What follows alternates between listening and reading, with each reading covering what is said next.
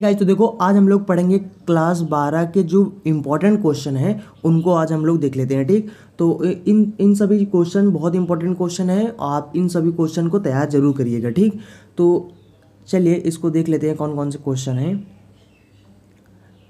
Just one second तो देखो यहाँ पर आ, सबसे पहला क्वेश्चन है आ, सभी क्वेश्चन जितने भी इम्पोर्टेंट क्वेश्चन थे सभी क्वेश्चन को मैंने आ, एक लाइन से पूरा लिख दिया है और इस वीडियो में मैं आपको चलो आ, सभी क्वेश्चन बता देता हूँ। इन सभी क्वेश्चन को आप लोग तैयार ज़रूर कर लीजिएगा ठीक? तो देखो यहाँ पर आ, सबसे पहला जो क्वेश्चन है लिखा है कि यदि वक्र अंडर रूट यक्स प्लस में अंडर रूट वाई बराबर में अंडर रूट ए है तो इसके किसी बिंदु पर स्पर्श रेखा ओ यक्स और ओ वाई अक्षों को क्रमशः पी और क्यू पर अगर काटते हैं तो सिद्ध करना है कि ओ पी प्लस में ओ क्यू बराबर में ए जहाँ पर ओ क्या है? मूल बिंदु है, ठीक? ये क्वेश्चन जब भी आएगा तो आपको आठ नंबर देके जाएगा, ठीक? तो आठ नंबर का क्वेश्चन है। उसके बाद ये वाला जो क्वेश्चन है, ये मोस्ट इंपॉर्टेंट क्वेश्चन है, ठीक? तो यहाँ पे लिखा है, सिद्ध कीजिए कि एक बटे में एक्स का होल पावर यक्स का उच्चिष्ट मान ई का घात एक बटा ई है, ठीक? तो ये मोस्ट इंपॉर्टेंट क्वेश्चन है, इसको आप लोग सॉल्व ज़रूर करिएगा, ठीक? उसके बाद अगला क्वेश्चन यहाँ पर लिखा है कि सिद्ध कीजिए कि वक्र ए एक्स स्क्वायर प्लस में बी वाई स्क्वायर बराबर में एक है तथा A dash x square plus में वी डैश वाई स्क्वायर बराबर एक है तो एक दूसरे को समकोण पर काटेंगे यदि इतने बराबर इतना हो, ठीक? तो ये भी मोस्ट इंपॉर्टेंट क्वेश्चन है। जस्ट वन सेकेंड मैं इन कीड़ों को मिटा दें। ठीक? तो उसके बाद देखो, यहाँ पर अगला क्वेश्चन है कि सिद्ध कीजिए सिद्ध करना है आपको। यहाँ पर इंटीग्रेशन लगा है और यहाँ पर लिमिट दिया गया है ज़ीरो से पाई बाई टू ठीक? Log cos x d x या फिर यहाँ पर लॉग साइन एक्स ठीक? इसके स्थान पर चाहे कॉस एक्स हो या साइन एक्स हो, दोनों का जो आंसर आता है वो सेम ही आता है, ठीक? इसी तरीके का ये सवाल भी इम्पोर्टेंट है। इसी तरीके का एक सवाल और भी है जहाँ पर नीचे बटे में चार होता है, ठीक? इसी तरीके का है, वो भी इम्पोर्टेंट ठीक? तो इस तरीके के सवाल आ जाते हैं एग्ज़ाम में। उसके बाद अगला क्वेश्चन है यहाँ पर ये भी बहुत इंपॉर्टेंट क्वेश्चन है कि परवलय वाई स्क्वायर बराबर में फोर ए एक्स तथा इसकी नाभिलंब जीवा से घिरे हुए क्षेत्र का क्षेत्रफल ज्ञात कीजिए, ठीक? उसके बाद अगला क्वेश्चन है कि सिद्ध कीजिए कि वृत्त के अंतर्गत महत्तम क्षेत्रफल वाला एक आयत है। उसके बाद अगला क्वेश्चन है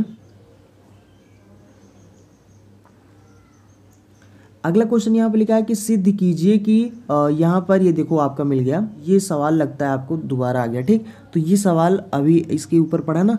उसके बाद यहाँ पर देखो है निम्न समीकरणों को आव्यूविद से हल कीजिए। देखो, एक बात आपको बता दें कि इस तरीके का सवाल एग्ज़ाम में आता है और आने के बाद वो आठ नंबर, पक्का ये आठ नंबर का ही आता है। आठ नंबर आपको दे के जाएगा। और इस बात को समझ लो। देखो हम ये नहीं बताते कि आपको यही सवाल मिलेगा एग्ज़ाम में, ठीक? हम सिर्फ़ आपको ये बता रहे हैं कि इस टाइप के क्वेश्चन आपको एग्ज़ाम में मिल सकते हैं। अगर आप इस सवाल को पहले ही सॉल्व कर लोगे तो इस तरीके के सवाल कैसे सॉल्व किए जाते हैं, ये तो आपको पता चल जाएगा। अब इसके बाद, चाहे वो चार यक्स के आगे चार लिख दें, वाई के आगे छः लिख दें, जेड के आगे बीस लिख दें उससे नहीं मतलब। आपको तरीका पता है जैसे ये सवाल लगेगा उसी तरीके से इस प्रकार से कोई भी सवाल आ जाएगा तो आप सॉल्व कर ले जाएँगे ठीक? तो देखो आ, कोई भी अगर आपसे ये बोलता है कि आ, ये क्वेश्चन ले लो बहुत इंपॉर्टेंट है मोस्ट इंपॉर्टेंट है आपके बोर्ड एग्ज़ाम में यही आएँगे इससे आगे नहीं आएँगे बस आपको इतना ही पढ़ना है। इन... तो कोई कितना भी कहे कि ये मोस्ट इंपॉर्टेंट है बस इतना ही पढ़ लो इससे आगे नहीं आएगा। ये सब हमें जहाँ तक लगता है मिथ है, ठीक? ये सब, क्योंकि बोर्ड एग्ज़ाम में किसी को पता नहीं होता है कि कौन कौन से क्वेश्चन आएँगे। हाँ ये है कि गेस लगा सकते हैं कि हाँ ये क्वेश्चन आ सकता है, ये क्वेश्चन आ सकता है बट ऐसा नहीं है कि इतना ही पढ़ लो, इससे आगे नहीं आएगा, ऐसा नहीं है, ठीक? क्योंकि बोर्ड एग्ज़ाम है, वो कोई भी सवाल आ सकता है, ठीक?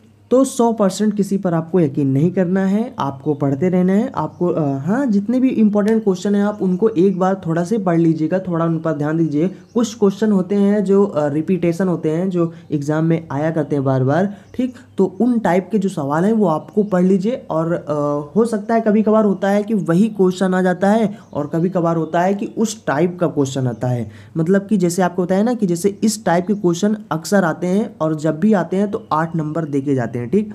तो इस तरीके के आप भी विषय जो हल किए जाते हैं, इन तरह के क्वेश्चन आप सॉल्व कर लीजिएगा और इस तरीके क्योंकि क्वेश्चन आते हैं, ठीक? तो हम ऐसा नहीं बता रहे हैं कि हम जो सवाल बता रहे हैं वही आपके बोर्ड एग्ज़ाम में आ जाएँगे। उस तरीके के सवाल आ सकते हैं। हो सकता है कि वहाँ पर थोड़ा बहुत चेंज करके दें या हो सकता है सेम टू सेम आ जाए, ठीक? तो ऐसा कुछ नहीं है। ऐसा हम आपको नहीं बता रहे हैं कि यही क्वेश्चन सेम आएँगे। हाँ इस टाइप के क्वेश्चन आ सकते हैं, ठीक? और देखो, आप लोग इसमें आपको बता दें कि आप, वो जो न्यूनतम दूरी वाले होते हैं, न्यूनतम दूरी निकालना या लघुत्तम जैसे लघुत्तम दूरी या न्यूनतम दूरी बोलते हैं ना उस टाइप के जो क्वेश्चन होते हैं न्यूनतम दूरी नि, कैसे निकाला जाता है वो क्वेश्चन आप लोग देख लेना क्योंकि वो क्वेश्चन भी आता है तो आठ नंबर वो भी देखे जाता है ठीक? बाकी प्रैक्तम जो है प्रैक्तम बेच प्रमेय के सवाल में थोड़ा सा आप लोगों को दिक्कत पड़ता है उसको भी मैंने समझा ही दिया है ठीक? तो आई होप अब आप लोगों को कोई भी प्रॉब्लम नहीं होना चाहिए ठीक? तो बाकी पूरा मैंने पढ़ा ही दिया है अगर आपने शुरू से पढ़ा होगा तो वैसे तो आप लोगों को सवाल लगाने में कोई भी दिक्कत नहीं होगा ठीक? बाकी ये इंपॉर्टेंट क्वेश्चन है इनको आप सॉल्व कर लीजिएगा तैयार कर लीजिएगा इसी टाइप के क्वेश्चन आएँगे एग्ज़ाम में। तो चलिए, अब अगला सवाल पढ़ते हैं। आई होप आप समझ गए होंगे। तो देखो, यहाँ पर अगला क्वेश्चन है कि सिद्ध कीजिए कि यहाँ पर लिमिट दिया गया है ज़ीरो से इन्फाइनाइट और यक्स स्क्वायर डी एक्स बटे में ए स्क्वायर प्लस में a square x square plus में ए स्क्वायर और दूसरे ब्रैकेट में लिखा हुआ है यक्स स्क्वायर प्लस में वी स्क्वायर बराबर में पाई बटे में टू ए प्लस में बी ठीक? तो ये क्वेश्चन आपका पाँच नंबर का होता है।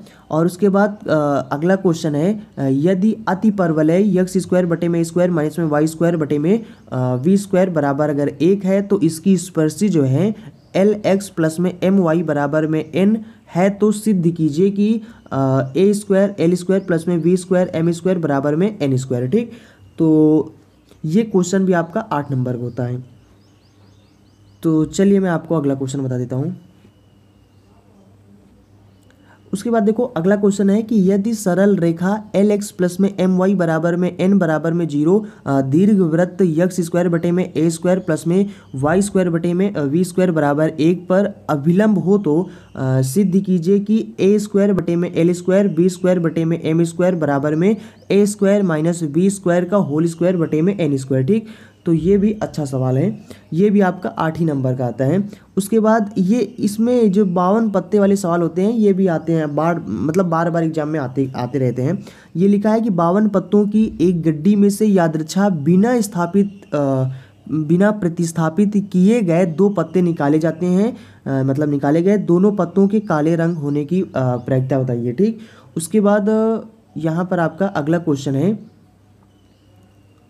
लिखा है कि सिद्ध कीजिए कि लिमिट दिया गया है ज़ीरो से pi by two under root cos x, d x और बटे में कॉस यक्स प्लस में साइन एक्स बराबर में एक बटा चार होते हैं, ठीक? कई सवाल ऐसे होते हैं यानी कि इसी निश्चित निश्चित समाकलन में, जिनमें ऐसे होते हैं कि जिनमें पाई बटा चार ही आंसर आता है। बहुत से ऐसे सवाल हैं जिनमें पाई बटा चार ही आंसर आता है, ठीक? और यहाँ पर देखो अगला क्वेश्चन है कि यदि दो इकाई वेक्टर ए तथा वेक्टर बी के बीच का कोण थीटा है तो आपको सिद्ध करना है साइन थीटा बाई टू बराबर में एक बटा two mod of a cap minus में वी कैप। ठीक तो ये क्वेश्चन आपका पाँच नंबर का आता है ये क्वेश्चन भी बार बार आता है ठीक? और उसके बाद सिद्ध करना है आपका आ, ये क्वेश्चन भी इंपॉर्टेंट बहुत ज़्यादा इंपॉर्टेंट क्वेश्चन है। यहाँ पर लिखा है अंडर यहाँ पर लिखा है इंटीग्रेशन ज़ीरो से pi by four log sine two x d x बराबर है minus pi by four log two ठीक? देखो, चाहे ये क्वेश्चन आए या इसके पहले भी अभी मैंने बताया था ना minus pi by two log two ऐसे करके जो इसके ऊपर था ना तो जब आप इस क्वेश्चन को सॉल्व कर ले जाएँगे तो वो जो जो इसके पहले क्वेश्चन आपने इसी टाइप का देखा था, वो क्वेश्चन भी आप लगा ले जाएँगे, ठीक? तो इसको जब आप सॉल्व करेंगे तो जैसे जैसे ये लगेगा, वैसे वैसे वो क्वेश्चन भी आपका लगेगा, ठीक? उसके बाद देखो, यहाँ पर आपका अगला क्वेश्चन क्या है? तो देखो, यहाँ पर अगला क्वेश्चन है कि सिद्ध कीजिए कि इंटीग्रेशन ज़ीरो से पाई और यक्स टेन एक्स बटे में sec x cos x d x बराबर में यक पाई स्क्वायर बटे में चार। उसके बाद अगला क्वेश्चन है, यदि त्रिभुज ए, बी, सी के शीर्षों के जो स्थिति सदिश हैं, वेक्टर ए, वेक्टर बी और वेक्टर सी हो तो सिद्ध करना आपको कि क्षेत्र, यानी जो त्रिभुज है, उसका क्षेत्रफल जो है, एक बटे two mod of vector a cross vector b plus में vector b cross vector c plus में vector c cross vector a. ये होता है, ठीक? तो ये इसको आपको सिद्ध करना है। उसके बाद अगला क्वेश्चन है कि सिद्ध कीजिए कि दिए गए संपूर्ण पृष्ठ और महत्तम आयतन वाले लंब वृत्ति का अर्ध शीर्ष कोण जो है, वो साइन इनवर्स एक बटा तीन है। ये भी काफ़ी इंपॉर्टेंट क्वेश्चन है। उसके बाद देखो, यहाँ पर अगला क्वेश्चन लिखा है, साइन वाई बराबर में यक्स साइन ए प्लस में वाई हो तो डी डी वाई बटे में डी एक्स बराबर में साइन स्क्वायर ए प्लस में वाई बटे में साइन ए ठीक? उसके बाद अगला क्वेश्चन है, यदि वक्र ए एक्स स्क्वायर प्लस में बी वाई स्क्वायर बराबर में एक a one x square plus में बी वन वाई स्क्वायर बराबर में एक एक दूसरे को समकोण पर काटते हैं तो सिद्ध करना आपको इतने बराबर। ठीक? उसके बाद अगला क्वेश्चन है कि आपका मतलब कि यह प्राकृतिक सवाल है। यहाँ पर लिखा है, एक क्लास में पाँच लाल गेंदे हैं, पाँच काली गेंदे हैं याद अच्छा एक गेंद निकाली जाती है, इसका रंग नोट करने के बाद पुनः क्लास में रख दी जाती है। पुनः निकाले गए रंग की दो अतिरिक्त गेंदें क्लास में रख दी जाती हैं तथा क्लास में से एक गेंद निकाली जाती है, दूसरी गेंद के लाल होने की प्रायिकता सेम यही सवाल मैंने आपको जो प्रैक्टा वाला सवाल जो वीडियो अभी दिया था ना कल परसों में, वो उसमें आपको सेम यही सवाल मैंने बताया था, ठीक? अगर आपको ये सवाल लगाना नहीं पता है तो आप वीडियो जाकर देख लेना, ठीक? लिंक आपको डिस्क्रिप्शन बॉक्स में मिल जाएगा या फिर सीधा जाना चैनल पर देख लेना, ठीक? उसके बाद देखो यहाँ पर अगला क्वेश्चन लिखा हुआ है कि एक थैला में तीन चार, तीन लाल गेंदे हैं, चार काली गेंदे हैं, ठीक?